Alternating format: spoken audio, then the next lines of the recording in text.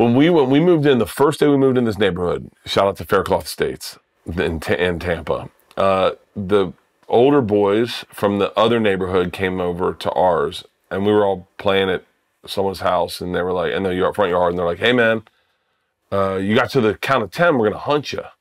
Hunt like, you? Hunt? I don't. We don't want to be hunted. Like and Hunger Games? yeah, and they just went 10, 9, 8. And then we, me and this dude, hid in a house that was being built. We hid in the chimney until sunset, where we climbed up the chimney and scissor fucked each other, facing each other, listening to these kids. I'm Wait, look, wait, I'm wait, wait, wait. You. Wait, go back to scissor fuck? Yeah.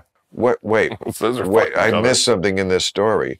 So we climbed up. So, like, when you were younger, you're you gay? No, no, no. You we climbed up a chimney, right? Back, feet on the wall, back, feet up on the wall. And then we sat, me and this kid, his feet on my side, and my feet on his side, facing each other inside Why? the chimney. Why was that necessary? To hiding, it was a good hiding spot. No, to like be rubbing your dicks on Oh each no, other. no, no, we weren't why was literally fucking each other. We were just. But why that's the way we were standing. but why was that necessary in this situation? I don't know. It's the way it went. It Well, went- because if there was no necessity, I'm going to have to read something into this Bert that may change your career and your marriage, uh, and certainly the direction of this show. yeah, I would love that. Uh, I mean, Be so much easier. Because I, I mean, I have many stories about childhood, but they don't include that.